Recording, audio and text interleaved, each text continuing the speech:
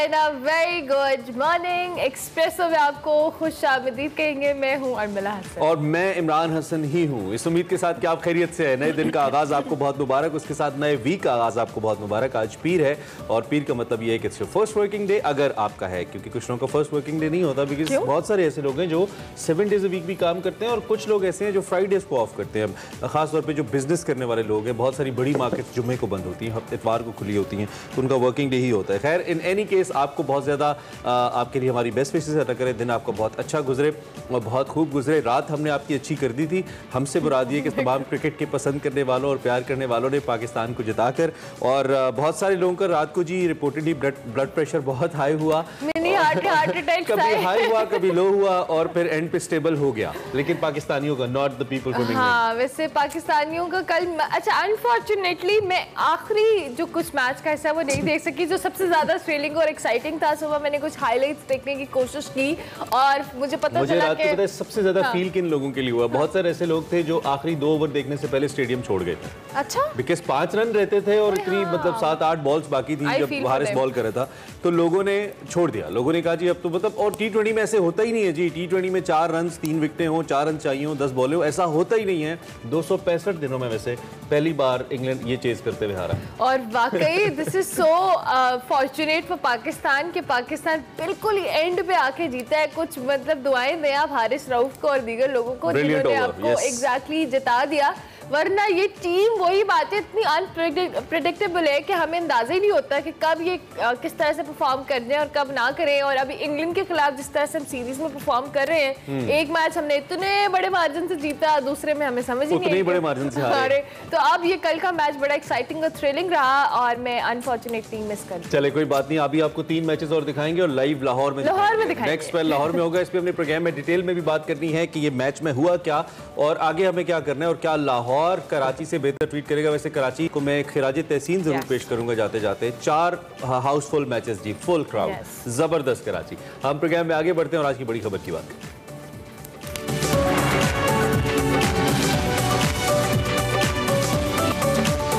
ज़िक्र सैलाब का ही है, उसके साथ साथ मुल्क की इकानमी का है। मुतासर इलाकों की अगर बात करें या मुतासरीन की बात करें तो मुश्किल में अभी कमी क्या आती, हम मुसलसल रिपोर्ट कर रहे हैं कि इजाफा हो रहा है। जो कि जो जो जो वक्त गुजर रहा है, मुतासरीन साफ़ पानी का जो पीने का जो पानी है, उससे महरूम है, खाने पीने की अशिया से महरूम है, और दुआइयाँ दे रहे हैं अब।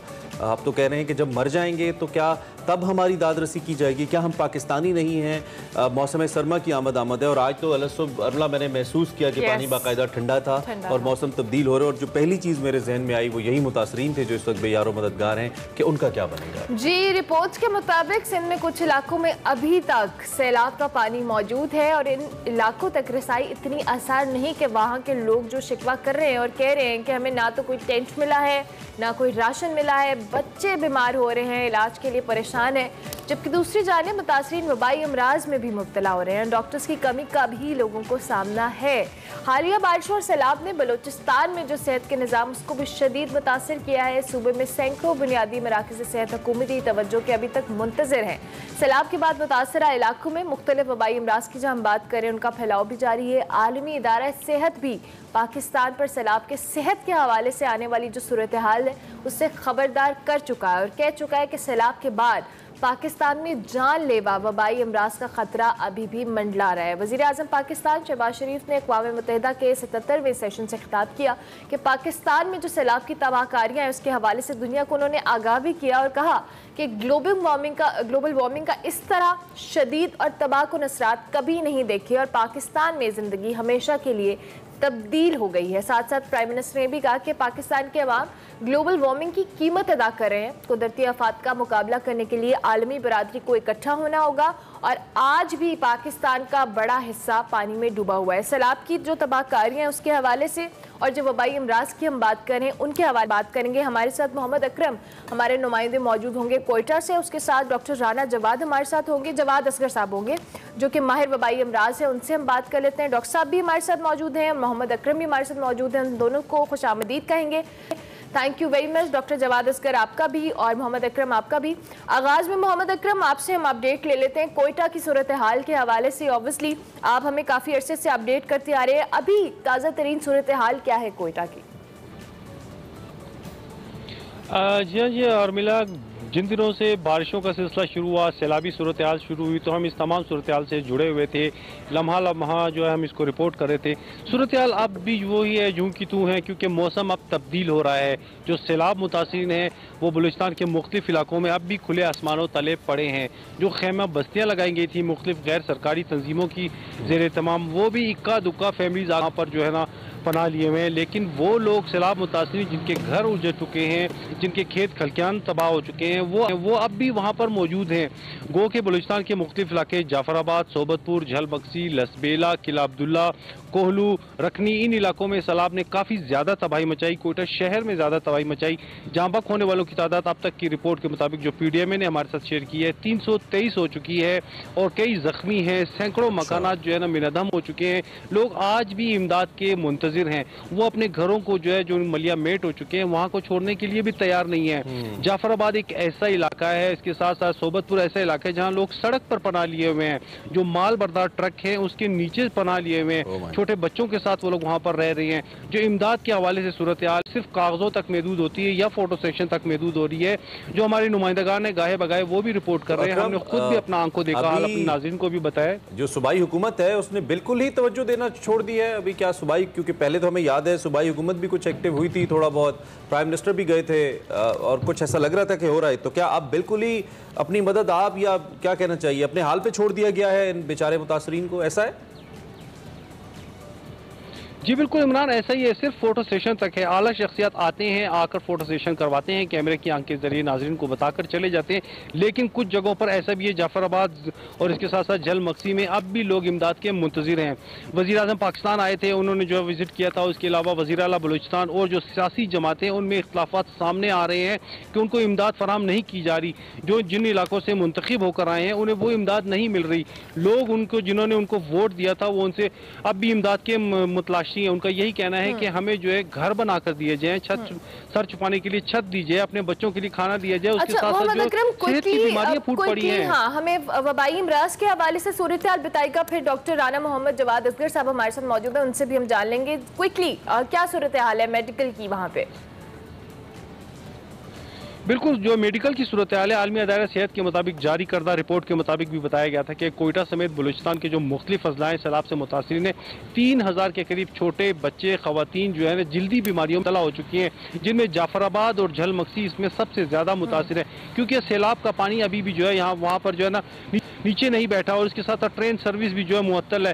कोयटा का ज़मीनी रबता भी मुकम्मल तौर पर मुअत्तल हो चुका है जिसकी वजह से बीमारियाँ भी फैल रही हैं। जाफराबाद और मोहम्मद मौजूद रहिएगा। डॉक्टर जवाद से भी हम जान लेते हैं। Doctor Jawad thank you very much ये जो अभी हमारे नुमाइंदे कोयटा की सूरत हाल बता रहे हैं, सैलाब वाले जितने भी इलाके हैं सैलाब ज़दा, वहाँ पर वबाई अमराज का डब्ल्यू एच ओ ने भी हमें खबरदार किया है। ओवरऑल वैसे भी सैलाब के पानी की वजह से ये मुश्किलात तो आनी ही हैं और आइंदा आने वाले दिनों में मजीद भी वर्स्ट हो सकती हैं। आपके पास क्या लेटेस्ट रिपोर्ट्स हैं?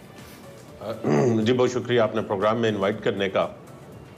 देखिए ये जो मूनसून का सीज़न होता है ये डॉक्टरों के लिए पाकिस्तान भर में और हिंदुस्तान के लिए डॉक्टरों के, के पास आने वाले मरीजों की तादाद में रूटीनली हर साल इन महीनों के अंदर काफ़ी इजाफा होता है। क्योंकि मौसम है बरसात है और उसके अंदर जल्दी बीमारियाँ उसके अंदर जो पेट के ख़राब होने की बीमारियाँ इस तरह की बहुत सारी बीमारियाँ रूटीनली पहले से ज़्यादा आती हैं इन महीनों से। और जब पाकिस्तान इतनी बड़ी मानसून और बारिशों के का सामना करना पड़ा है जो पहले की नस्बत इसकी कोई मिसाल हमें नहीं मिलती पहले तो इसका मतलब ये है कि जो वो ऑलरेडी ज़्यादा केसेस एक्सपेक्टेड होते हैं इन महीनों में उनमें कई गुना ज़्यादा बड़ा इजाफा होना मुमकिन है। लेकिन इन चीज़ों को हम रोक सकते हैं और इसके अंदर अभी जिस तरह आपके जो नुमाइंदे बता रहे थे कि बहुत सारे लोगों को जल्दी बीमारियाँ हैं लेकिन अगर आप सिंध की तरफ़ या पंजाब की तरफ़ आए तो यहाँ हमें डेंगू के केसेस काफ़ी ज़्यादा तादाद में मिल रहे हैं। इसके अलावा मलेरिया भी के केसेस आ रहे हैं। पेट की वजह से पेट खराब होने की वजह से अमवात या हैजे की वजह से अमवात की भी रिपोर्टिंग है। तो ये जो इसका स्केल है वो बढ़ रहा है पहले की नस्बत लेकिन इसको आसानी के साथ रोका भी जा सकता है।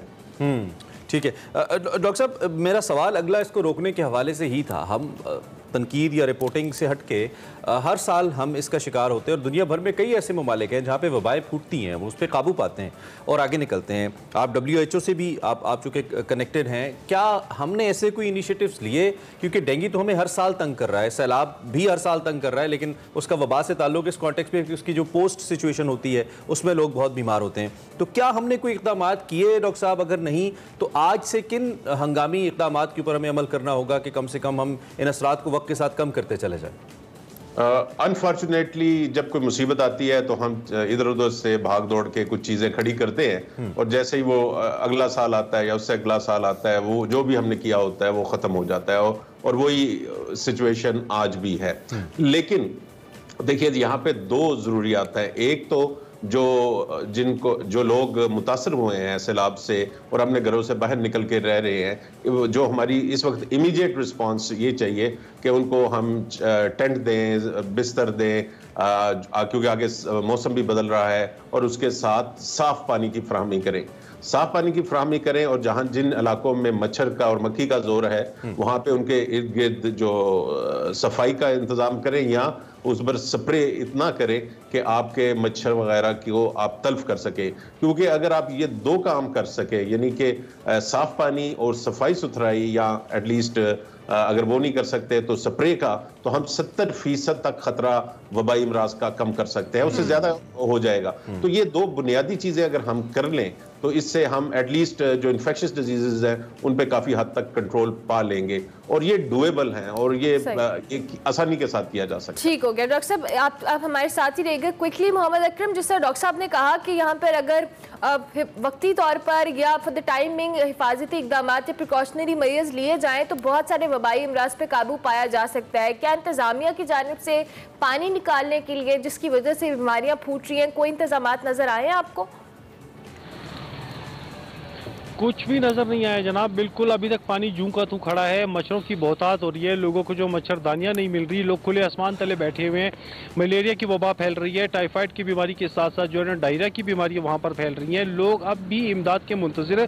खुद बुनियादी मराकज सेहत की जितने भी जो जगह थी, वो मुकम्मल तौर पर मिनदम हो चुके हैं। डॉक्टर खुले आसमान तले बैठे हैं। टेंटों के आते हैं, आके वहाँ पर बैठ के कुछ घंटे के लिए इक्का दुक्का पेनाडॉल वगैरह दूसरी अद्वियात देकर वो चलते बनते हैं। जो मेन वहाँ के मसाइल हैं, जल्दी बीमारियाँ डायरिया की मसले मसाइल हैं उस पर तो कोई तवज्जो दी ही नहीं जा रही। वहाँ पर वो आते हैं दिखाकर चले जाते हैं। ठीक है मोहम्मद अकरम हमारे नुमाइंदा कोयटा से और doctor Jawad thank you very much आप दोनों साहिबान का शुक्रिया। खासतौर पर डॉक्टर साहब थैंक यू वेरी मच आपने हमें ज्वाइन किया और इस अहम मामले के ऊपर हमें न सिर्फ़ मालूम दी बल्कि एहतियाती तदाबीर भी बताई। ये वो बातें हैं नाजरीन जो मुसलसल हम रिपीट कर रहे होते हैं। रिपीट करने का मकसद मतलब ये है कि हम कम अज़ कम ये जानते रहें कि सूरत हाल क्या और कौन कौन सी एहतियातें हमने करनी है। The least you can do is please घरों में पानी नहीं खड़ा होने दें। हम्म। कपड़े अपने मुकम्मल टी शर्ट्स वगैरह को अवॉइड करें। ऐसे पहने जिससे आपके जिसम पे मच्छर की जो एक्सेस है वो कम से कम हो। This is least what we can do अल्लाह करे कि हम सब इससे महफूज रहें और हम आपको आगाह करते रहेंगे इस बार ब्रेक लेंगे ब्रेक के बाद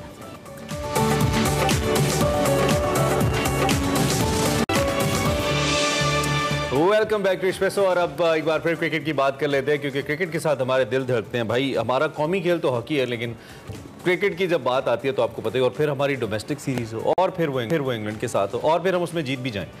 तो कमाल सोने पे सुहागा हो गए ऐसा ही है रात को ज़बरदस्त मैच हुआ it was the fourth match सात मैचों की सीरीज़ का चौथा मैच और पाकिस्तान ने उस मैच को जीत लिया। पहला इंग्लैंड दूसरा पाकिस्तान तीसरा इंग्लैंड चौथा पाकिस्तान पांचवा कौन जीतेगा ये फैसला कहा होगा? लाहौर लाहौर में। सो ज़बरदस्त मैच हुआ और पाकिस्तान ने बिलाखिर ये मैच जीत लिया। कैसे जीता इस पर तबसरा लेंगे साहब का। सलीम खालिक साहब बहुत शुक्रिया एंड वेरी गुड मॉर्निंग ये जो कल हम मैच जीते हैं हम हेडलाइन देख रहे थे पाकिस्तान ने इंग्लैंड के मुँह से फतह छीन ली। ये बल्कि, बल्कि निगलने ही वाला था फतह। हाँ ये निगलते निगलते जो हमने छीनी है इसका क्या करना है? ये तो बहुत ही कल थ्रिलिंग और एक्साइटिंग मैच रहा। बिल्कुल बहुत ज़बरदस्त मैच हुआ और वो सॉरी कहते हैं ना कि पैसे वसूल हो गए लोगों के। उस तरह का हुआ कि आखिर तक पता ही नहीं चल रहा था कि कौन सी टीम जीतेगी। हम्म। एक वक्त तो ऐसा लग रहा था कि पाकिस्तान जीत गया तकरीबन और उस वक्त फिर लेकिन गेम चेंज हुआ एक ओवर में जो हसनैन की पिटाई की डॉसन ने तो फिर हम्म। लगा के मैच हाथ से निकल गया। हम्म। लेकिन पूरा क्रेडिट हमें देना चाहिए हारिस को जिन्होंने एक हारा हुआ मैच हमें जितवाया है लेकिन लोगों की दिल की धड़कने तेज कभी नॉर्मल कभी इस तरह का चल रहा था। ये चलती रही। बिल्कुल ऐसी है। मैच था लेकिन एक ज़बरदस्त कराची में चारों मैचेस जो हुए उसका अख्ताम हुआ और इससे अच्छा हो नहीं सकता था। कि लोग याद रखेंगे। और अब कर लाहौर आके जो तीन मैचेस हैं उनकी भी बड़ी ज़बरदस्त एक हाइप बन गई होगी और बिल्कुल और अब कल तो हमने 200 मैचेस की अपनी डबल सेंचुरी भी मुकम्मल की ना कल टी ट्वेंटी की। बिल्कुल। पाकिस्तानी टीम दुनिया की पहली टीम बन गई और उसमें बड़ा हमें अच्छा ये लगा कि हम वो 200वां मैच जीत गए बड़े यादगार तरीके से। सो 200 मैचेस दुनिया में सबसे ज़्यादा हम टी ट्वेंटी क्रिकेट सलीम भाई और मुझे लगता है कि दुनिया के बेहतरीन एंटरटेनर जो है ना टी ट्वेंटी के या क्रिकेट के वो पाकिस्तान ने दिए हैं। इस पर क्या कहेंगे आप?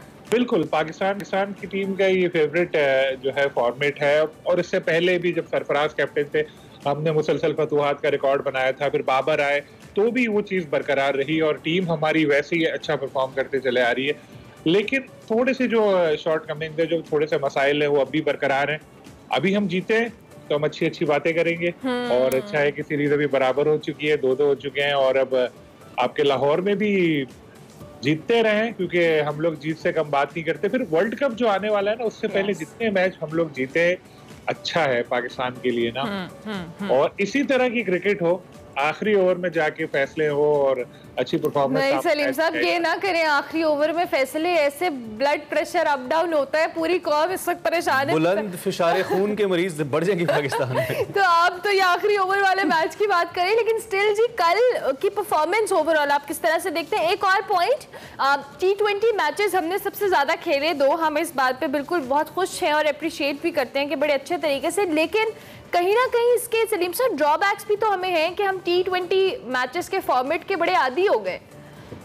देखिए अब दौर जो है ना वो टी ट्वेंटी का ही है। जिस तरह आहिस्ता आहिस्ता टेस्ट क्रिकेट कम हो रही है और वनडे का तो यहाँ तक लोगों ने कह दिया था वसीम अकरम जैसे कि वनडे को खत्म कर देना चाहिए। तो अब टी ट्वेंटी का दौर है आगे और होगा। तो जो फॉर्मेट चल रहा है तो उसमें अच्छा है हम लोग अगर मास्टर हो। रहे हैं हम सीख रहे हैं तो अच्छी बात है। कल के मैच की जहाँ तक बात है तो अच्छा पाकिस्तान को आगाज़ मिला था। स्कोर शायद थोड़ा सा कम था। और मैं उसी जा रहा था कि जब इंग्लैंड पहले खेलता है चाहे वो खुद ऑप्ट करे या हम उसे दावत दे इंग्लैंड 200 से नीचे बात नहीं करता पहले खेलते हुए। हम क्यों बड़े टारगेट्स नहीं हम पहले भी 100 आपको याद होगा 158 हमने दिया था जब हम पहले खेले। देन इस मैच के अंदर भी हम अ, 170 नहीं उससे नहीं आगे बढ़ सके। इसकी क्या वजह आप देखते हैं? हम बड़ा टारगेट क्यों नहीं दे पा रहे पहले खेलते हुए बीमन देखिए बात यह है कि आपने एक चीज़ नोट की होगी चाहे वो इंग्लैंड हो चाहे ऑस्ट्रेलिया हो उन लोगों में विकेटें गिरती भी रहे ना तो उनका स्ट्राइक रेट जो है वैसे ही रहता है जो दस रन पे तीन आउट होंगे तो चौथा आएगा ये नहीं कि दो ओवर मेडन खेलेगा वो पहली बॉल से ही आके हिटिंग शुरू करेगा क्योंकि टी ट्वेंटी क्रिकेट ही यही है। तो इसलिए आप देखें कि इंग्लैंड ने छोटी छोटी इनिंग से इतना बड़ा स्कोर ऑलमोस्ट पहुँच ही वो गए थे। पाकिस्तान का जो मसला हुआ वो ये हुआ कि आगाज़ अच्छा मिला उसके बाद शान मसूद ने काफ़ी बॉल जाया कर दी ना। हम्म। तो उससे थोड़ा सा शायद पाकिस्तान टीम पे प्रेशर आ गया। हालाँकि वो अच्छा खेलते हैं लेकिन कल थोड़े से वो परेशान नज़र आ रहे थे। आसिफ आए अगर वो दो छक्के आसिफ के नहीं लगते तो इतने रन भी नहीं बनते।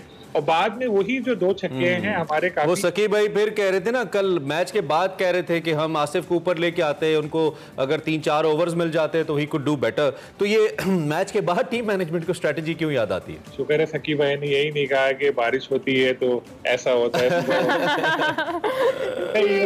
बात यह है कि वो अच्छा परफॉर्म कर गए ना आसिफ तो। फिर तो फिर अब उनके लिए हमदर्दी जागी है सबकी। ठीक हो गया। Thank you very much Salim Khaliq साहब। बहुत शुक्रिया। तजिया दे रहे थे कल के। ऊपर अब लाहौर में तीन मैचेस होना बाकी है। लाहौरियो आपने बिल्कुल डिसअपॉइंट कराची वालों ने आपको दो मैच जिता दिए हैं। अब हाँ। बाकी आपने दो और जिता हाउसफुल होना चाहिए। ब्रेक लेते हैं जी ब्रेक के बाद आते हैं। वेलकम बैक टू एक्सप्रेसो जहाँ पे कामयाबी के लिए आपको बहुत सारी खसूसियात चाहिए वहीं पे आपकी जो कम्युनिकेशन स्किल है वो सबसे इंपॉर्टेंट है। उसका सबसे ज़्यादा रोल है आपकी कामयाबी में। अलामा इकबाल ओपन यूनिवर्सिटी में इंग्लिश लैंग्वेज टीचर्स फोरम की एक बैन अवी कॉन्फ्रेंस हुई और अपने सिलसिले की पहली कॉन्फ्रेंस थी। यहाँ पे हमना खालिद गई और इसका अहवाल बता रही हैं। सेगमेंट है over a cup of coffee भी हमना खालिद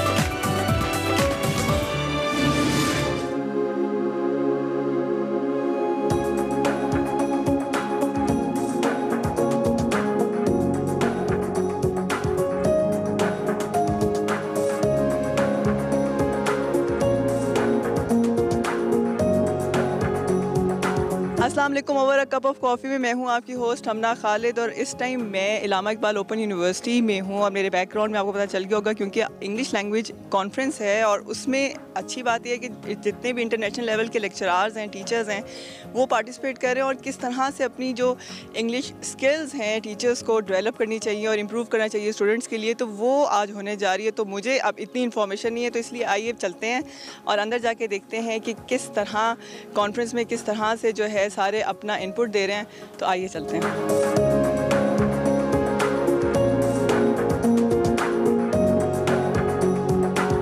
ओके इस टाइम मेरे साथ प्रोफेसर आयवन हैं और उनसे कुछ मैं क्वेश्चंस करती हूँ और जानते हैं कि इंग्लिश लैंग्वेज जो है कितनी इंपॉर्टेंट है Uh, language is extremely important, I think, because it's the most uh, widely learned second language in the world. So, uh, if you learn English, you can speak not only to people who are from countries where English is a native language, but also people from countries all over the world.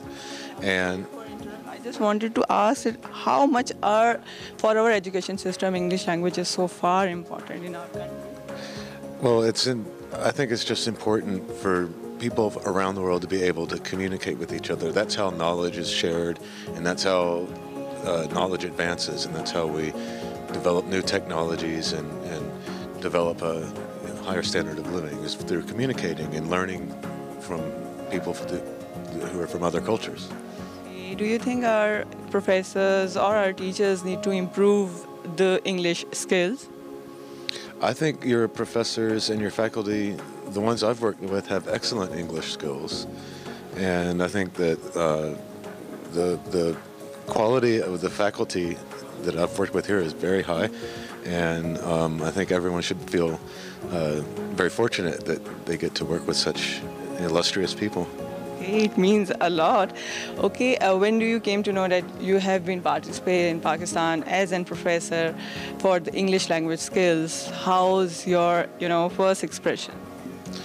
Uh, my first experience uh, in Pakistan, I had no idea what to expect, and I came here, and everyone was so friendly and so kind, and yet um, so knowledgeable, and and yet humble in their knowledge, and it just became a true pleasure to work with my colleagues here. Okay, thank you so much and wish you all the very best.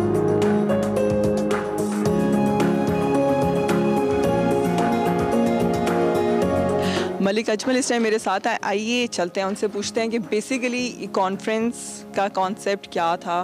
तो ये सारी जो detail है, मुझे लगता है कि बजाय मैं आप लोगों को बताऊँ तो वो खुद ही हमें बताएँगे। आइए, चलते हैं उनसे पूछते हैं। वालेकुम मैडम। वालेकुम जी। बेसिकली ये कॉन्फ्रेंस जो है इंग्लिश टीचर्स के लिए थी। जो इंग्लिश पढ़ा रहे हैं स्कूल्स में कॉलेज़ में यूनिवर्सिटीज़ में, एक हमारा प्रोजेक्ट है पाकिस्तान पाक टी सोल के नाम से। और इसी पाक टी सोल के तहत ये हमारा कोलेब्रेशन है department of English Allama Iqbal open university का विद रीजनल ऑफ़िस जो है रेलो जिसे हम कहते हैं, ये अमेरिकन एम्बेसी का एक ऑफ़िस है, उसके साथ हमारी कोलेब्रेशन है, जिसके तहत ये पूरे पाकिस्तान में हमने ये पाक टी सोल के नाम से एक सोसाइटी डेवलप की है इंग्लिश लैंग्वेज टीचर्स के लिए, और इसके यूनिट्स बनाए हैं। और उन्हीं सारे यूनिट्स में से आज सब लोग यहाँ पे इकट्ठे हैं पूरे पाकिस्तान से और ये इंग्लिश लैंग्वेज टीचर्स के लिए रिसर्चर्स के लिए, और वो लोग जो अपना एम और पीएचडी के जो रिसर्च में इंटरेस्टेड हैं, ये उसके, उनके हवाले से उनकी एक ट्रेनिंग है यहाँ पे, और ये पूरे पाकिस्तान से लोग आए हुए हैं, और ये जो है ऑस्ट्रेलिया से अमेरिका से और दूसरे मुल्कों से भी लोग आए हैं प्रेजेंट करने के लिए।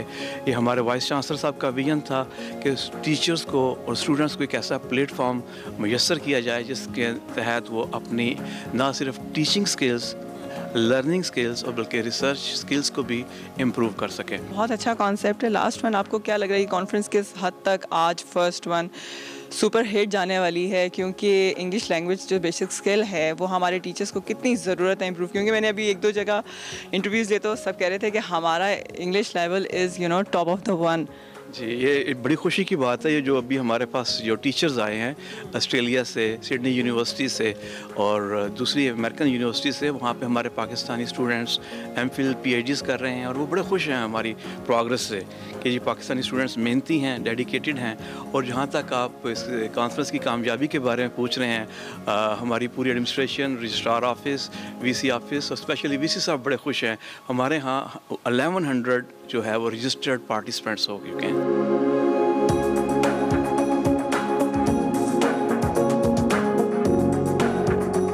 और इस टाइम मेरे साथ प्रोफेसर जैकी हैं आइए चलते हैं और उनसे पूछते हैं कि उनका एक्सपीरियंस कैसा जा रहा है hello how are you I'm really well. Lovely to be in Pakistan. Thank you thank you so much for giving us the time Well, it's a place that I particularly love to come to, and I've been here, I think, seven times now.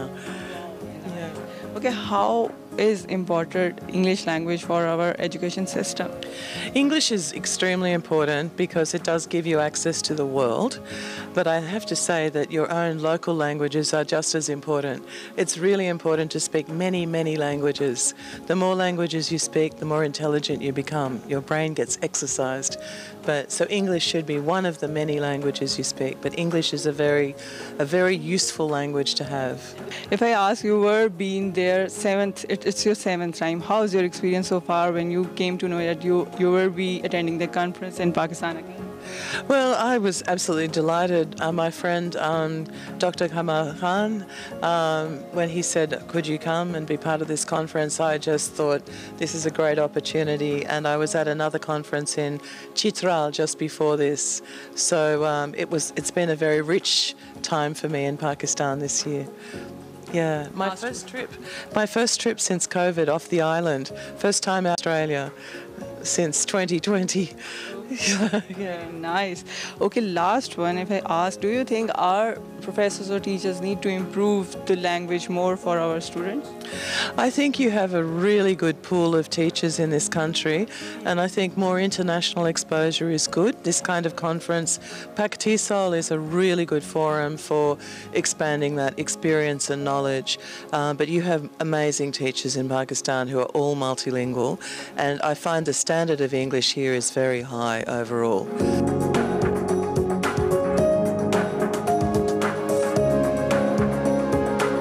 Mariam Akram हमारे साथ हैं और she is the professor यानी lecturer हैं पाकिस्तान में तो उनका experience भी पूछते हैं लेकिन इससे पहले उन्होंने दो दिन प्री वर्कशॉप भी जो है एक अटेंड की है तो पहले वो मैं उनसे पूछ लेती हूँ असलम कैसी हैं good thank you so much सबसे पहले टाइम देने के लिए और सबसे पहले बताएँ ये प्री वर्कशॉप वाली क्या मिस्ट्री है जो कि मुझे नहीं पता।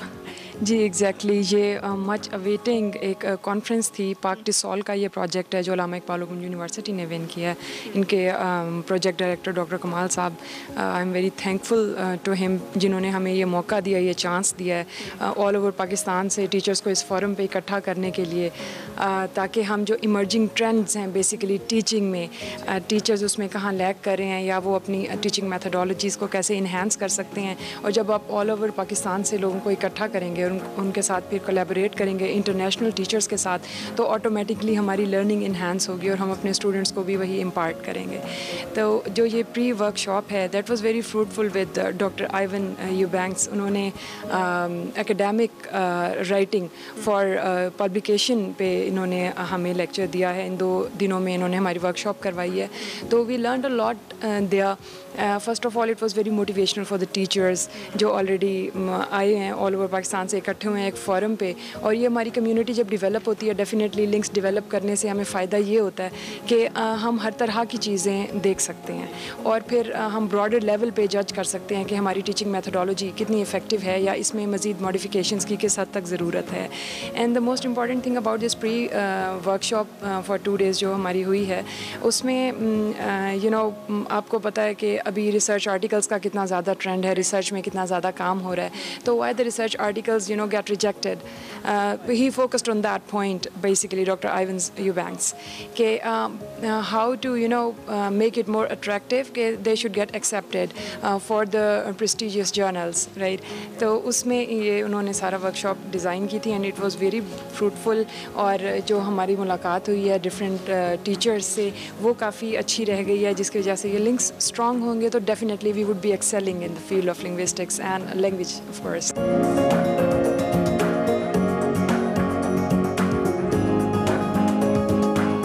doctor Ziaul Qayyum हमारे साथ हैं वीसी इस टाइम तो आ, मैं थोड़ा सा हो रही थी नर्वस इसलिए कि इनसे बेसिकली कॉन्सेप्ट पूछने के लिए कि कितना ज़रूरी था और बेसिकली कॉन्फ्रेंस रखी क्यों गई क्यों ज़रूरी था? पहला यही सवाल है तो उनसे पूछ लेते हैं। अस्सलाम कैसे हैं आप? आप खैरियत से देखिए ज़ुबान एक ऐसा मीडिया है जो मुल्कों में ना सिर्फ़ एक एक एक यकसुई पैदा करने के लिए ज़रूरी है, लेकिन जब आप एक ग्लोबल सिटीजन्स पैदा करने के, जब हम बात करते हैं इस ग्लोबलाइज, ग्लोबलाइज्ड वर्ल्ड में तो ज़ुबान एक वो वाद ज़रिया जिसके ज़रिए से आप एक्सप्रेस कर सकते हैं, आप लोगों से कोऑर्डिनेट कर सकते हैं। और जहाँ तक एकेडमिक कल इंस्टीट्यूशंस का ताल्लुक है, इस बात पे कोई दूसरी राय नहीं कि अंग्रेज़ी ज़ुबान में जो भी साइंटिफिक लिटरेचर या एकेडमिक लिटरेचर सबसे ज़्यादा अगर किसी ज़ुबान में मैसर है तो बहरहाल अंग्रेज़ी ज़ुबान में है। दोनों हवालों से उसकी एक एकेडमिक इम्पॉर्टेंस है कि उसकी कल्चरल इम्पॉर्टेंस भी है। तो हमने एक एक बात का आगाज़ किया कि हमने शॉर्ट कोर्सेज पहले यूएस एम्बेसी के तावन से किए, मुख्तलिफ़ जगहों पे आठ महीने का प्रोजेक्ट दो साल का प्रोजेक्ट जिसमें हमने मार्जिनलाइज कम्यूनिटीज़ में इवन और रिमोट एरियाज़ में अंग्रेज़ी ज़ुबान की तरक्की के लिए और उनकी समझ के लिए लोगों में हमने एक अवेयरनेस भी दी और उन्हें ट्रेनिंग भी दी। ये अब एक प्रॉपर फोरम है जो इंग्लिश लैंग्वेज टीचिंग के लिए बेसिकली एक जो क्रिटिकल मैथ्स रिक्वायर्ड है, उसको प्रोड्यूस करने के लिए है, जो बुनियादी तौर पर टीचिंग टीचिंग ऑफ़ इंग्लिश के जो इस कराम हैं, उनको भी ट्रेन करना, उसका एक हिस्सा है। और आज का बेस उसको हमने फिर फॉर्मलाइज कर दिया है और पाकिस्तान में जो यू एस एम्बेसी है, उसके लिए उन्होंने मदद फ्राहम की। और जैसे प्रेजिडेंट ऑफ़ पाकिस्तान आज इस इवेंट पर भी बात कर रहे थे कि ज़ुबान की तरवीज और उसकी अहमियत अपनी जगह पे, पाकिस्तानी ज़ुबानों की अहमियत भी अपनी जगह पे। लेकिन हमें अब और इवन अगर हम मशीन ट्रांसलेशन भी कर लें तो भी जो नेटिव लिटरेचर है उसकी समझ उसी नेटिव लैंग्वेज में जिसमें आप उसकी सिमेंटिक्स और कॉन्टेक्स्ट को बेहतर अंडरस्टैंड कर सकते हैं उसकी अहमियत को मद्देनज़र रखते हुए बेसिकली ये फोरम क्रिएट किया गया है। किस हद तक सक्सेसफुल रहा आपका ये कॉन्फ्रेंस देखिए बहुत मैं तो समझता हूँ दोनों दो अगर उसके आप इवेलुएशन के मैट्रिक्स ले लें कि प्रेसिडेंट ऑफ़ पाकिस्तान ने उस इवेंट को होस्ट कह लें उसको चेयर किया है उन्होंने जो पाकिस्तान में यूएस एम्बेसडर हैं वो तशरीफ़ लाए ख़ुद से। सो आप, उसकी एक अहमियत तो इस बात से इस्टेब्लिश है। और दूसरी ये कि जो उसमें रिसोर्स पर्सन आप देखेंगे, वो दुनिया के मुख्तलिफ़ ममालिक से तशरीफ़ लाए हैं। पाकिस्तान से हमारे बहुत सारे एक्सपर्ट्स हैं यू एस से बहुत, तीन यूनिवर्सिटियों से एक्सपर्ट्स तशरीफ़ लाए हैं यूनिवर्सिटी ऑफ़ सिडनी की डिप्टी वाइस चांसलर तशरीफ़ लाई हैं, जो कि लैंग्वेज की टीचर हैं। तो जो उसकी इम्पॉर्टेंस है वर्ल्ड वाइड वो इस बात से भी रिफ्लेक्ट होती है कि जो नॉलेज शेयरिंग के लिए जो प्लेटफॉर्म हमने क्रिएट किया है, उसको वर्ल्ड रिकग्निशन भी मिली है। आज over a cup of coffee में मुझे जो सीखने को मिला वो ये कि ये कॉन्फ्रेंस जो आज फ़र्स्ट डे की मैंने मिस कर दी तो कल मैं फॉर श्योर खुद आऊँगी, लेकिन उसमें मेरी रिकॉर्डिंग नहीं हो रही कि मैं बड़े आराम से बैठ के अपनी एज पार्टिसिपेंट जो है ना, अपनी स्किल्स इंप्रूव करने की कोशिश करूँगी और बहुत से अच्छे अच्छे कॉन्टेक्ट्स बनाने वाली हूँ। और थैंक यू सो मच ये था आज का over a cup of coffee next time फिर मिलेंगे। तब तक के लिए अल्लाह हाफिज़। Welcome back to Expresso break के बाद हाजिर हो चुके हैं जनाब और चूँकि हमने प्रोग्राम में आगे सेगमेंट की तरफ़ जाना है, लेकिन उससे पहले कल एक वीडियो आई सोशल मीडिया के ऊपर मरियम औरंगज़ेब साहिबा की। लंदन के अंदर वो किसी कॉफ़ी शॉप के अंदर मौजूद थी और कुछ पाकिस्तानियों ने वहाँ पे वहाँ पे एहतजाज किया और काफ़ी एहतजाज नहीं किया, बल्कि उनको हरास किया। ये वर्ड ज़्यादा अप्रोप्रिएट है। अनफॉर्चुनेटली ये इतना एक वियर ट्रेंड सेट हुआ है, जिसमें हम जिस तरह से इन पॉलिटिशन्स को तनकीद का निशाना बनाते हैं। इससे पहले मदीना मुनवरा के अंदर भी इस तरह का वाक़ पेश आया था। और बहुत अफसोस हुआ ये देखकर, चाहे आपका किसी भी पॉलिटिकल पार्टी से आपकी एफिलिएशन है आपका ताल्लुक है लेकिन ये किसी भी तौर जस्टिफाई नहीं है कि खातून को जो अकेली हैं, अपनी पर्सनल कैपेसिटी के अंदर कहीं गई हैं, आप उनको हरास करें, उन पर आवाज़ें कसें, उन्हें अजीब व गरीब अलकाबात से नवाजें। और ये इस सारी वीडियो में जो सबसे अफसोसनाक बात थी कि इसमें ख़वातीन ज़्यादा थी, और वो ख़वातीन जिस अंदाज में उन्हें हरास कर रही थी क्रिटिसाइज़ कर रही थी, ये बहुत ही काबिल अफसोस और काबिल एक मजम्मत चीज़ है मैं पर्सनली इस चीज़ को बिल्कुल कंडेम करती हूँ। मुझे लगता है कि ऐसी चीज़ें, ऐसी वीडियोस और इस तरह की हरासमेंट की चीज़ें करके हम एक बहुत गलत ट्रेंड सेट करें। आप इमेजिन करें, आपके घर की कोई खातून इस तरह से जाए, चाहे वो किसी पॉलिटिकल पार्टी से उनका ताल्लुक हो और चार लोग उठकर उनको इस तरह से तनकीद का निशाना बनाएँगे, उन्हें इस पर आवाज़ें कसें। आपके लिए कितनी एक अफसोस और कितनी एग्रेशन वाली बात होगी कि आपके घर की किसी खातून को उनके बच्चे हैं, उनकी फैमिली है, वो देख रही होंगी। बेशक वो पॉलिटिकल पार्टी से उनका ताल्लुक है, लेकिन किसी तौर भी जस्टिफाई नहीं है कि आप किसी खातून को उनकी पर्सनल कैपेसिटी के अंदर इस तरह से आवाज़ें कसें, उन्हें तनकीद का निशाना बनाएँ। बिलाशुबा जी, काबिल मजम्मत है और बहुत बड़ा सवालिया निशान है। उन लोगों की तरबियत पर जो ये सब कुछ करते नज़र आते हैं। अगले का वक्त हुआ है देखते हैं निकले तेरी तलाश में और ज़िक्र है चित्राल दास्तान का।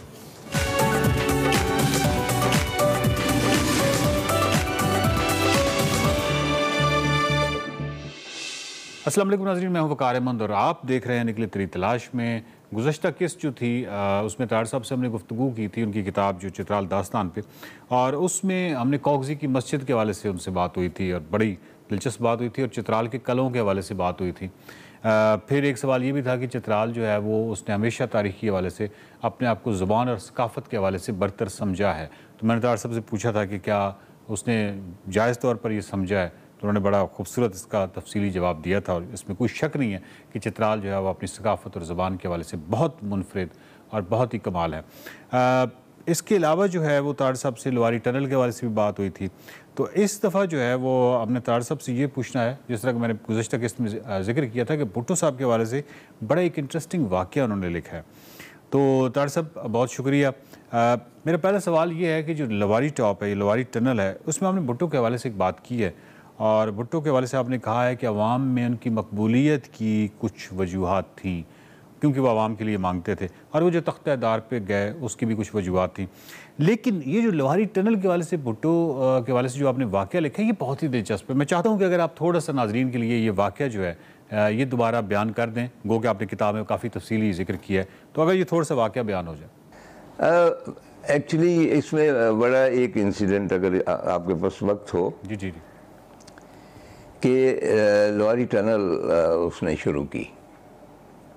अच्छा और जितना रेवेन्यू आता है चित्राल से एक साल में वो टनल पे पता नहीं कुछ चालीस गुना ज़्यादा खर्चा होता था। तो ओवरऑल जब फिजिबिलिटी बनती है किसी भी इलाके के तो आप देखते हैं कि, वहाँ की आमदन क्या है। और इसके जवाब में हमें कितना फ़ायदा होगा? तो उसमें इतना फ़ायदा नहीं था। तो इसीलिए बेशतर लोगों ने आ, उसमें तगाफल इख्तियार किया टनल के मामले। सही। लेकिन भुट्टो की वही जैसे कि मैंने अर्ज़ किया कि वो पॉपुलर था तो उसकी कुछ वजूहत थी। अगर वो तख्तादार पे गया, उसकी भी कुछ वजूहत थी।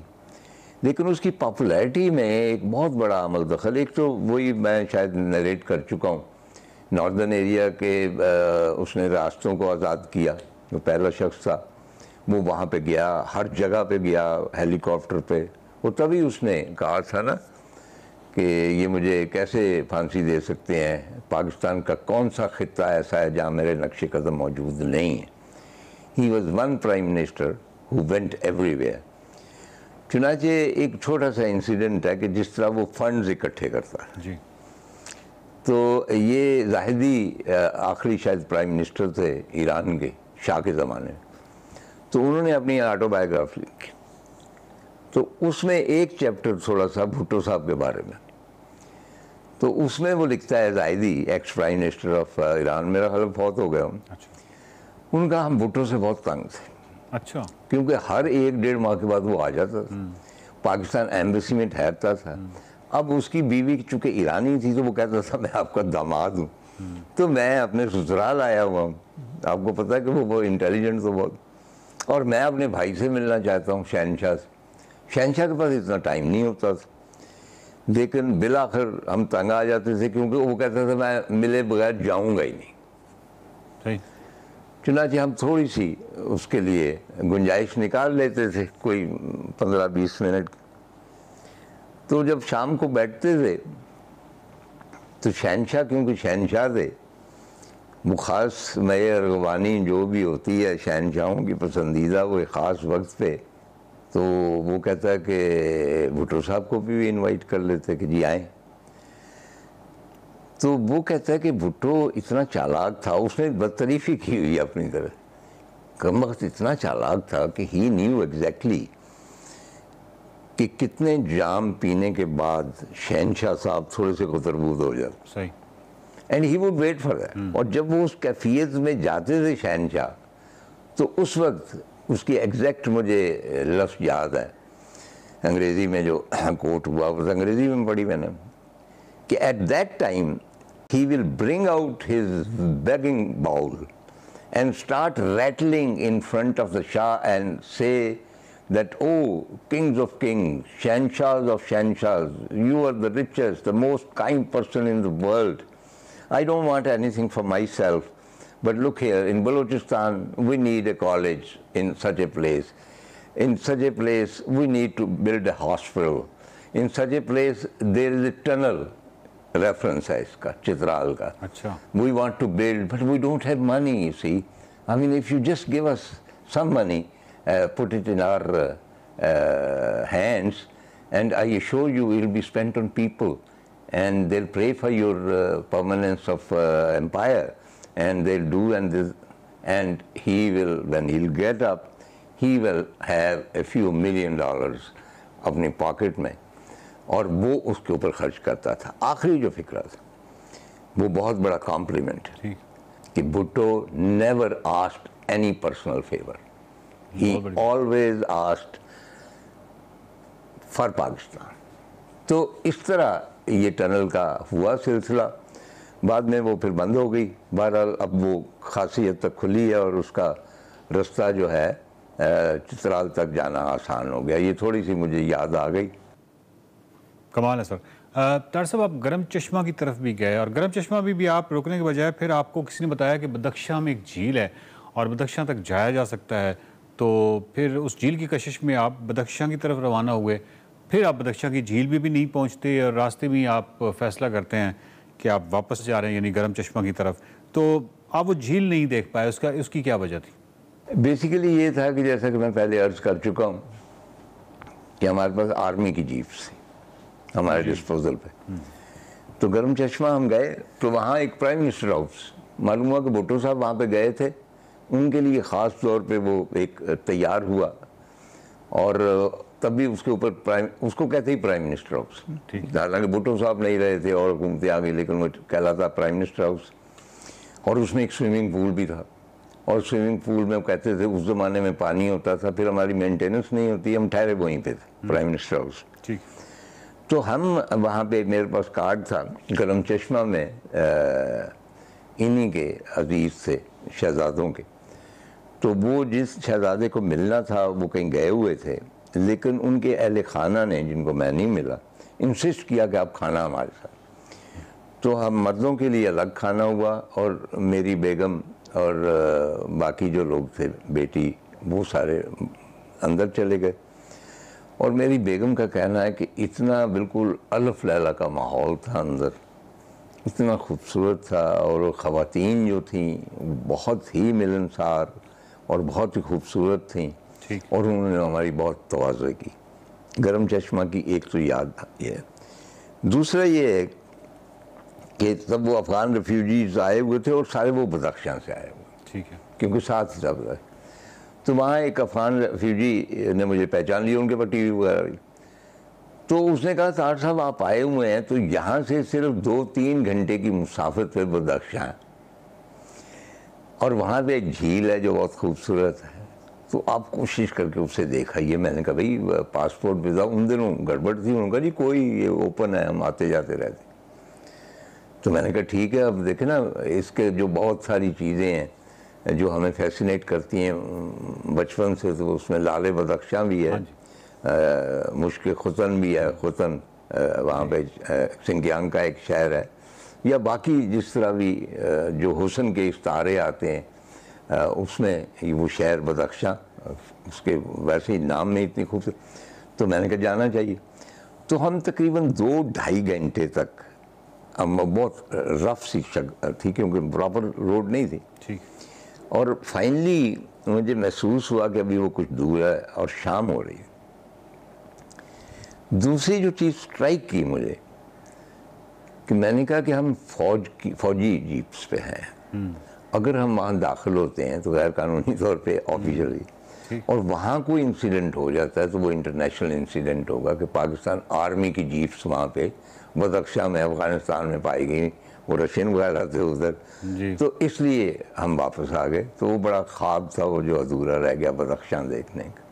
क्या बात है। और बदख्शां का ज़िक्र तार साहब कितना यानी इस पूरी बेल्ट में अगर आप अपर हंजा चले जाएँ तो वकी लैंग्वेज में जो मुख्तलिफ़ मुख्तलिफ़ गीत हैं उसमें बदख्शां का ज़िक्र आपको मिलता है। फिर वहाँ से ऊपर यानी यासीन और चित्राल और मुख्तलिफ़ जगहों पर बदख्शां का ज़िक्र जो है वो वहाँ पर मिलता है जो उनकी लोकल शायरी है और उसके बाद ऑफकोर्स जिस तरह आपने ज़िक्र किया है कि हमारे यहाँ जो उर्दू अदब है उसमें हुस्न के हवाले से जो इस्तारे हैं उसमें बदख्शां का ज़िक्र जो है वो बहुत खूबसूरत मिलता है। तो डेफिनेटली आपके अंदर एक क्रोसिटी होती है कि वो बदख्शां को उसी बदख्शां को देखा जाए।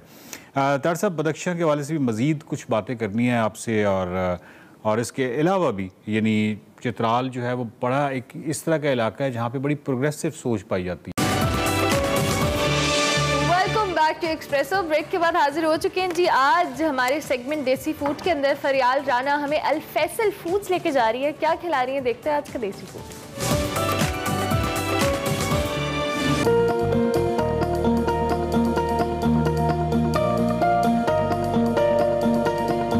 नाजरीन आज मैं आई हूँ शाह जमाल सुपर मार्केट में जहाँ पर है अल फैसल फूड्स वाले। इनकी खास बात तो ये है कि ये निहारी और हरीसा देसी घी और जैतून के तेल में तैयार करते हैं। आइए चलकर देखते हैं ये और क्या क्या बनाते हैं और यहाँ का टेस्ट कैसा है।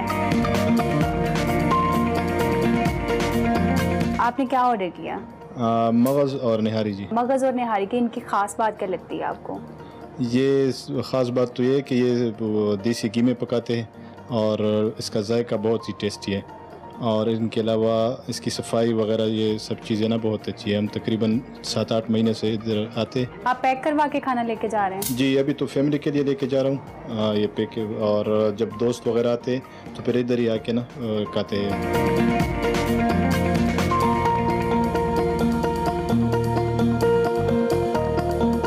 क्या खाने लगे अभी? बीफ निहारी। बीफ निहारी खाने लगे। टेस्ट कैसा लगता है आपको इसका? टेस्ट तो अलहमदुल्ला अच्छा है। पहले भी मैंने कई दफ़ा खाया है ऑर्डर भी मंगवाया। इनकी निहारी की खास बात क्या लगती है आपको? इनकी निहारी की खास बात ये है कि ये देसी घी में बनाते हैं और लाइव बनाते हैं। इस तरह का टेस्ट मुझे पूरे लाहौर में नहीं मिला। इस वजह से मैं इधर आता हूँ। आज आप क्या खाने लगे हैं यहाँ से? मैं वैसे तो नॉर्मली इनकी निहारी खाता हूँ मगर ये इन्होंने दो तीन डिशेज नहीं इंट्रोड्यूस की है। आज पालक इंट्रोड्यूस किए तो वो टेस्ट करने आया हूँ। इनके खानों की खास बात क्या लगती है आपको? जी एक तो इनके खाने जो है देसी घी में होते हैं इनका हरीसा जो है वो ऑलिव ऑयल में है। आपको ये चीज़ें मार्केट में नहीं मिलती और बहुत अच्छा टेस्ट है। हमारे साथ मौजूद हैं यहाँ के शेफ शकील खान। आ, मुझे बताएँ आप क्या बना रहे हैं अभी? मैं निहारी बना रहा हूँ। कौन सी निहारी बना रहे हैं आप? बीफ निहारी। आपने इस निहारी में कौन से मसाला जात इस्तेमाल किए हैं? हमारा अपना स्पेशल रेसिपी का मसाला है हम वो इस्तेमाल कर रहे हैं। और साथ देसी घी इस्तेमाल कर रहे हैं इसमें। आप ये ये क्या बना रहे ये हैं? चिकन अड़ीसा है इसमें इस- कौन से मसाले डाले हैं इसमें जैतून का तेल इस्तेमाल होता है और देसी घी में तैयार किया जाता है। कितनी देर में निहारी जो है वो तैयार हो जाती है? ये पाँच से छः घंटे लगते हैं तैयार होने में और रोज़ाना हम स्पेशल ताज़ा बोंग मंगवा देते उसमें तैयार करके रखते थे। जैसे हमारे पास कस्टमर आते हैं तो हम इसको फ्राई करके और देसी घी का तड़का लगा के दे देते हैं। हरीसा कितनी देर में तैयार कर लेते हैं? पाँच से छः घंटे में। हमारे साथ मौजूद हैं यहाँ के ऑनर मोहम्मद फैसल साहब। आप मुझे बताएँ, देसी खानों के रेस्टोरेंट बनाने का ख्याल कैसे आया आपको? ये ना मेरा एक पैशन है। हमारा बेसिकली काम है कैनिंग का। लोग अपना खाना लेके आते हैं और हम उसको पैक करके देते हैं। घर का भी लाते हैं और कोई हमें ऑर्डर दे तो हम ऑर्डर पे भी बना सकते हैं। तो ये बड़े अरसे से ख्याल था, दिल था कि जी कोई देसी फ़ूड बनाया जाए जो मेरी एक्चुअली मदर भी और मिसेस भी। इसमें बहुत ज़्यादा एक्सपर्ट हैं। और उनकी रेसिपी से ही हमने काफ़ी चीज़ें माशाल्लाह समझ के हमारे लड़कों को भी जो गाइड किया है वो मेरी मदर की रेसिपी बेसिक और उनकी जो कह लें आप स्टूडेंट मेरी मिसेस उन्होंने बेसिकली इन सबको काफ़ी हद तक गाइड किया कितना अर्सा हो गया आपको ये काम स्टार्ट किए हुए? हमें ये छः से आठ महीने हो आप देसी फ़ूड में क्या क्या बनाते हैं? हम जो है स्पेशल अपना बोंग की निहारी बना रहे हैं। और मगज़ मसाला बना रहे हैं पुन्ना बना रहे हैं मटन का। फिर हमारा चिकन पालक कोफ्ता है। बोनलेस बीफ का स्पेशल पालक गोश्त बना रहे हैं और चिकन और बीफ हरीसा बना रहे हैं। आपके खाने की खास बात क्या है जो लोग इतने शौक से खा रहे हैं? जी हम हमारे खाने में ये है कि हम सारा कुछ देसी घी में बना रहे हैं और स्पेशली चिकन और बीफ हरीसा वो हम जैतून में बना रहे हैं। ये हमारी खास स्पेशलिटी है। कस्टमर सबसे ज़्यादा क्या खाना पसंद करते हैं? जी हमारी जो स्पेशल है वो निहारी है मगज़ मसाला है और पालक गोश्त। मैंने यहाँ पर देखा है लोग खा भी रहे हैं और साथ में पैकिंग भी करवा के लेके जा रहे हैं। इसकी क्या वजह है? एक नई चीज़ इसमें ये है कि लोग जो हमसे पैक करवा रहे हैं अब घरों में भी रख रहे हैं और कोई मेहमान आ जाता है तो इसको फौरी तौर पे खोल के तो मेहमानों के आगे जो है वो आगे सर्व भी कर देते हैं आपका ये पैक्ड फ़ूड कितने अरसे तक स्टोर रहता है? ये अल्हम्दुलिल्लाह जी छः महीने तक ये सेव रहता है। और विदाउट एनी प्रजर्वेशन कोई कोई प्रजर्वेटिव नहीं डालते कोई केमिकल नहीं डालते। ये हंड्रेड परसेंट हाइजेनिकली और एयर टाइट वैक्यूम प्रोसेस है। आप जो फ़ूड पैक करते हैं वो फुल कुक्ड होता है या फिर हाफ़ कुक्ड जी वो थोड़ा सा हम उसमें कसर रखते हैं फुल कुक नहीं करते थोड़ा सा हाफ़ कुक रखते हैं उसको। आपका रेस्टोरेंट जिस एरिया में है वहाँ से मशहूर शख्सियात का गुजर तो होता ही है। यहाँ पर आपके पास कौन सी मशहूर शख्सियात खाना खाने आती हैं? जी हमारे पास अल्हम्दुलिल्लाह अभी बहुत कम टाइम हुआ है छः महीना हुआ है लेकिन पॉलिटिशियन से लेके ब्यूरोक्रेट से लेके बहुत अहम शख्सियात अल्हम्दुलिल्लाह आ रही हैं और बहुत ज़्यादा लाइक कर रही हैं। आपके रेस्टोरेंट की टाइमिंग्स क्या हैं? अभी हमारा जो टाइमिंग है वो सुबह 10 बजे से रात 10 बजे तक है। थैंक यू सो मच आपके टाइम के लिए।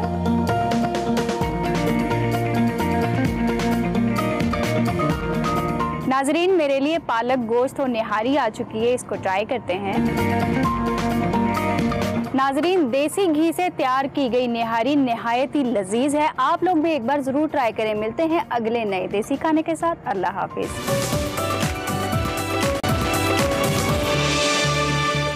पाकिस्तान की मारूफ गुलकारा नाहिद अख्तर साहिबा आज अपनी छियासठवीं सालगिरह मनाई जा मना रही हैं और नाहिद अख्तर ने अपने फ़नी करियर का आगाज़ फ़िल्म नन्ना फरिश्ता से किया। आपने अपनी खूबसूरत आवाज़ की बदौलत बहुत कम अरसे में शायकीन के दिलों में जगह बना ली।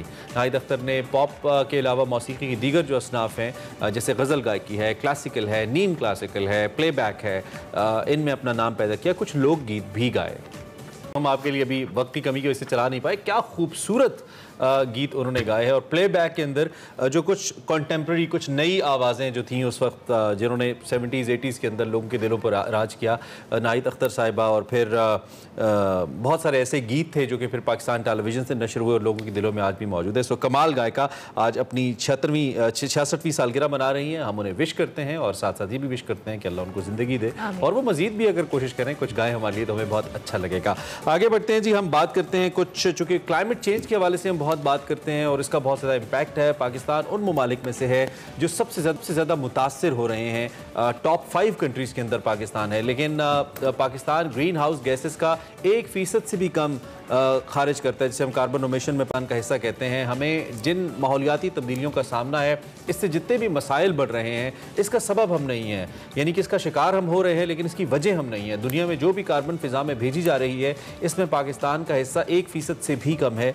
पिशावर यूनिवर्सिटी में माहौलियाती आलूदगी के अवामिल को जानने के लिए पहली मरतबा जदीद टेक्नोलॉजी से रास्ता एक मशीन नस्ब की गई है, जिसकी मदद से फ़िज़ा में 20 किलोमीटर तक पाए जाने वाले ऐसे मुजर असरात जो हैं, इसके बारे में उसका पता लगाया जा सकेगा। और इस टेक्नोलॉजी से ये भी मशीन के हवाले से आपको बताएँ कि चीन से ये ली गई है, चीन से ये मंगवाई गई है और यहाँ पे नस्ब की गई है और इससे बहुत मदद मिलेगी फ़िज़ाई आलूदगी की वजूहत जानने में और ये भी जानने में कि कैसे हम इससे बचा बच सकते हैं और इससे बचा जा सकता है। सो इसी हवाले से हमने आज इस पे बात भी करनी यासीन इकबाल साहब हमारे साथ मौजूद, खुश आमदीद कहेंगे। Thank you very much doctor साहब, बहुत शुक्रिया आपने ज्वाइन किया। सबसे पहले तो इस मशीन के हवाले से हम जानना चाहेंगे कि ये मशीन है क्या? बेसिकली और ये किस तरह से काम करती है?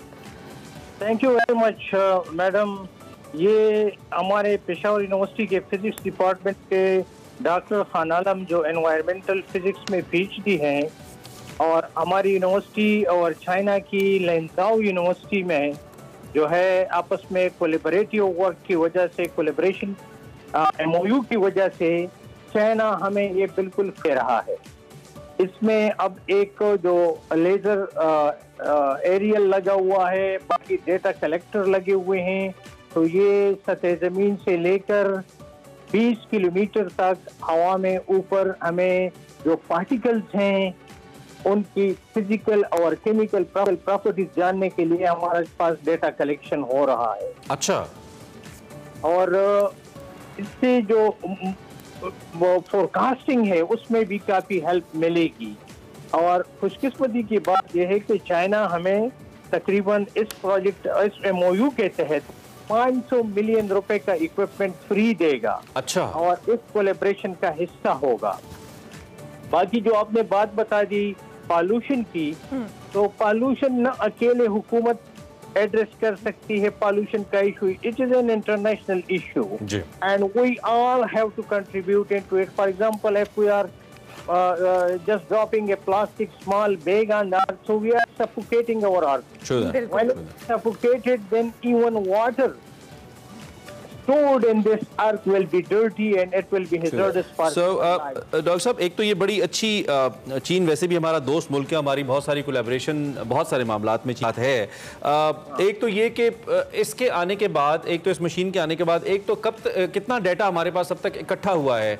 Uh, या इससे हम अब तक क्या अखज़ कर पाए हैं? नए हैं नंबर वन नंबर टू क्या ये ऑफिशियल इस्तेमाल के लिए मशीन है? आई I मीन mean, सरकारी इस्तेमाल में रहेगी या हमारे इदारों के पास इस्तेमाल में रहेगी या फिर आम स्टूडेंट्स भी इस मशीन को इस्तेमाल कर पाएँगे उनको भी रिसर्च में मदद मिलेगी इसके ज़रिए?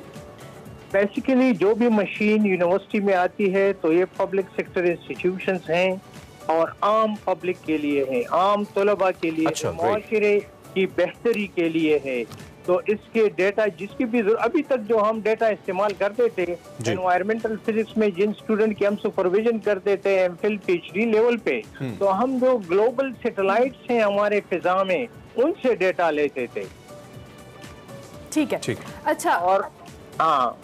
जी जी आप कंटिन्यू कीजिएगा। हाँ हाँ अवामी चीज़ है। जी ठीक है। मतलब स्टूडेंट्स भी इसको इस्तेमाल कर अच्छा साथ साथ दूसरी जाने? बिल्कुल स्टूडेंट के लिए है हुकूमत के लिए भी है और सबके लिए है। ठीक। अच्छा ये जो हमारी फिजा में आपने आलूदगी पॉल्यूशन का ज़िक्र किया ऑब्वियसली बहुत बड़ा चैलेंज है। और वक्त गुजरने के साथ साथ हमारे बहुत सारे फिजा के अंदर ऐसे फैक्टर्स मौजूद हैं जो डायरेक्टली और इनडायरेक्टली हमारी सेहत पे भी बड़ा इम्पैक्ट डालते हैं। आपकी इस मशीन के थ्रू क्या कंट्रीब्यूशन रहेगी और कौन से ऐसे चैलेंजेस हैं या कौन से ऐसी इम्प्योरिटीज़ हैं जिनको ट्रिगर होने से पहले इनकी प्रिकॉशनरी मेयर्स की जा सकती हैं इस मशीन के थ्रू बेसिकली हम जब रास्ते पे चलते हैं या किसी ब्रिज पे खड़े हो जाते हैं तो हम एक स्मोक देखते हैं डर्ट देखते हैं।